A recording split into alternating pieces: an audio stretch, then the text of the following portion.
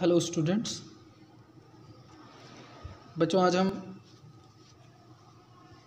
Computer का lesson five पढ़ेंगे, जिसका नाम है सीपीयू ठीक है?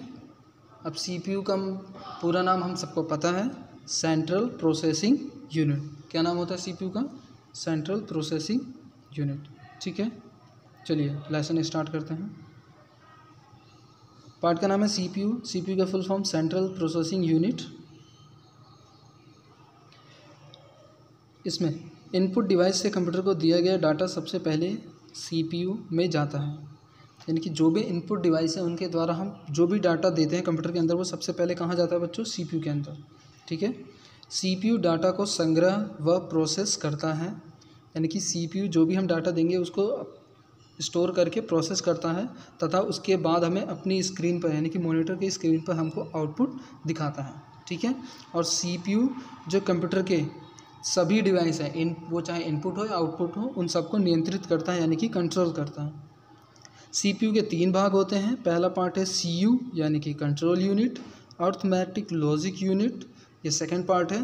ए एल यू बोलते हैं इसको शॉर्टकट और फुल फॉर्म हो जाएगा arithmetic logic unit third part है सीपीयू का मेमोरी ठीक है? इन तीन पार्ट्स के ऊपर ही सीपीयू वर्क करता है। सबसे पहले देखेंगे इसमें कंट्रोल यूनिट के बारे में। कंट्रोल यूनिट कंप्यूटर की क्रियाओं को नियंत्रित करता है। कंट्रोल यूनिट इनपुट को प्राप्त करता है और इसे मेमोरी में स्टोर करता है। ठीक है, यानी कि कंट्रोल यूनिट क्या करता है? जितनी भी हम कंप्यूटर के अंदर क्रियाएँ करते हैं, उनको नियंत्रित करता है।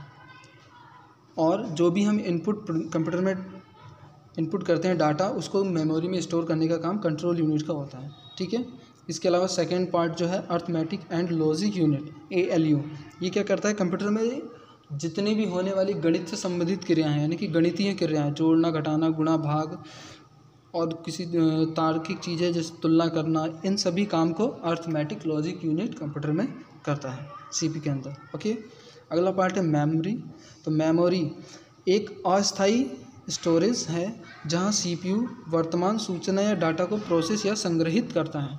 कोई भी हम इनपुट डालते हैं तो पहले कंप्यूटर में जाके स्टोर होता है, उसके बाद सीपीयू उसके उस ऊपर प्रोसेस करता है। अब मेमोरी यहाँ पे दो टाइप की दी गई हैं। पहली है इंटरनल मेमोरी और एक्सटर्नल मेमोरी यानी कि आंतरिक मेमोरी और बाह्य मेमोरी ठीक है? तो सबसे पहले देखेंगे आंतरिक मेमोरी के बारे में।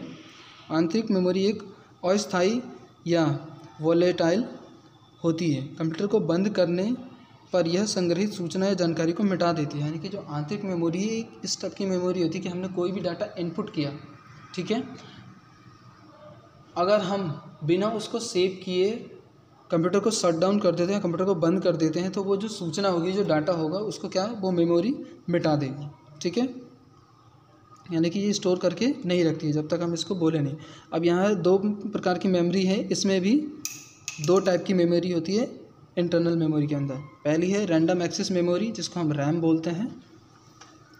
एंड सेकंड है रेड ओनली मेमोरी यानी कि रोम बोला जाता है इसको शॉर्टकट फॉर्म में। ठीक है? तो सबसे पहले देखते हैं रैंडम एक्सेस मेमोरी क्या है। रैम एक अस्थायी मेमोरी है, जो प्रोसेसिंग के दौरान अस्थायी स्टोरेज के रूप में कार्य करती है। यानी कि जब प्रोसेस हो रहा है, जो भी डाटा हम कंप्यूटर में प्रोसेस कर रहे हैं इनपुट कर रहे हैं, उसके दौरान ये मेमोरी वर्क करती है। रैम के गुण क्या क्या होते हैं? तो रैम, रीड, राइट मेमोरी, यानी कि पढ़ने और लिखने की रीड, राइट मेमोरी होती है। कंप्यूटर इसे डाटा रीड करता है या इसमें डाटा संग्रहित तथा परिवर्तित करता है। रैम अस्थाई मेमोरी है। ठीक है? तो ये इसके दो गुण हो गए। सेकंड आता है रीड ओनली मेमोरी, यानी कि मेमोरी की इस भाग में निर्देश यानी कि जो भी इन्फॉर्मेशन हम कंप्यूटर में डालते हैं इनपुट करते हैं, स्थायी रूप से संग्रहित होता है। यानी कि यहाँ पर अगर हमने एक बार सेव कर दिया तो हमें यहाँ पर वो सेव ही मिलेगा, ठीक है? अतः इसके डाटा को परिवर्तित नहीं किया जा सकता। यानी कि यहाँ पर जो भी एक बार डाटा स्थायी रूप से सेव हो गया, उसको हम चेंज नहीं कर सकते। इसे केवल पढ़ ही सकते हैं, ठीक है? रीड ओनली मेमोरी में जो भी एक बार हम डाटा सेव कर देंगे, उसको हम चेंज नहीं कर सकते, उसको सिर्फ़ पढ़ा जा सकता है। और जो रैम के अंदर गुण क्या है कि उसको हम रीड भी कर सकते हैं और राइट भी कर सकते हैं, यानी कि सेव करने के बाद हम उसको पढ़ भी सकते हैं और साथ में अगर कुछ चेंज करना हो तो हम चेंज भी कर सकते हैं, ठीक है? रोम के गुण यह स्थायी निर्देशों को संग्रहित करके रखती हैं, जिन्हें कंप्यूटर के निर्माण के समय रिकॉर्ड किया जाता है, ठीक है? रोम को केवल पढ़ा जा सकता है, यह स्थायी मेमोरी, यानी कि सिर्फ़ इसको केवल पढ़ सकते हैं हम इसको राइट नहीं कर सकते।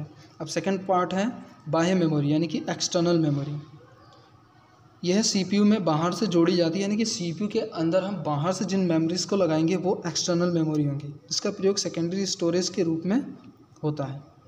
ठीक है? देखिए सेकेंडरी स्टोरेज मेमोरीज जैसे कि मैन मेमोरी अस्थायी होती है, जो कंप्यूटर बंद करने के बाद डाटा को मिटा देती है। डाटा को स्थायी रूप से बाद में प्रयोग करने के लिए जिन डिवाइसों में संग्रहित करते हैं, उन्हें सेकेंडरी स्टोरेज डिवाइस कहते हैं। ठीक है? जैसे हमने पढ़ा अभी पीछे की जो आंतरिक मेमोरी वो क्या करती है? डाटा को कंप्यूटर बंद होने के बाद वो मिटा देती है। लेकिन जब हम कोई भी डाटा कंप्यूटर में वर्क करते हैं तो उसको हम किसी फ़ाइल में हार्ड डिस्क में सीडी में, या डीवीडी में या फिर पेन ड्राइव में, इन सब चीज़ों में हम उसको स्टोर करते हैं। ठीक है? उसको हम सेव करते हैं। तो ये सेकेंडरी स्टोरेज डिवाइस होता है, अगर हम इसमें एक बार जो भी हमारा डाटा है उसको हम सेव कर देंगे तो हम उसको जब भी हमें ज़रूरत पड़ेगी, हम उसको यूज़ कर सकते हैं, उसको हम पढ़ सकते हैं, ठीक है? अब सेकेंडरी स्टोरेज के गुण क्या क्या हैं? तो यह रीड व राइट दोनों पर कार्य करती है, यह स्थायी स्टोरेज भी है, जो कंप्यूटर को बंद करने पर संग्रहित डाटा को नहीं मिटाते हैं। यानी कि अगर हमने इसमें एक बार फ़ाइल लिया डाटा सेव कर दिया, चाहे कंप्यूटर बंद हो जाए या फिर हम उसको बंद करके दोबारा ओपन करें, तब भी वो डाटा नहीं मिटेगा। सेकेंडरी स्टोरेज डिवाइस विभिन्न प्रकार के होते हैं। अब इसके कई टाइप हैं। पहला hard disk magnetic tape punch card और फ्लॉपी डिस्क तो यहाँ पे चार टाइप की सेकेंडरी स्टोरेज डिवाइस को बताया गया है। तो इस, ये जो मेमोरी वाला हिस्सा, ये बहुत ही मेन पार्ट होता है सीपीयू का, क्योंकि सीपीयू इसी के अकॉर्डिंग काम करता है। अगर कम सी के अंदर मेमोरी नहीं होगी तो कंप्यूटर कोई भी काम नहीं कर पाएगा, क्योंकि वो डाटा को स्टोर नहीं कर पाएगा, हम उसमें कुछ लिख नहीं पाएँगे तो इसलिए कंप्यूटर के अंदर मेमोरी होना बहुत आवश्यक होता है। इसलिए सीपीयू का एक मेन पार्ट क्या होता है बच्चों? मेमोरी होता है, ठीक है? तो ये लेसन अब यहीं पे